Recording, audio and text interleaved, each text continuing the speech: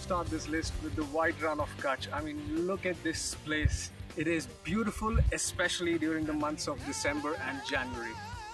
You have to have to make your way to Vijay Vilas Palace because this place is incredible, intricate architecture, such amazing history. You have to come here. The Rann itself, because everything here is so colorful and there are so many cultural activities that you're bound to love it.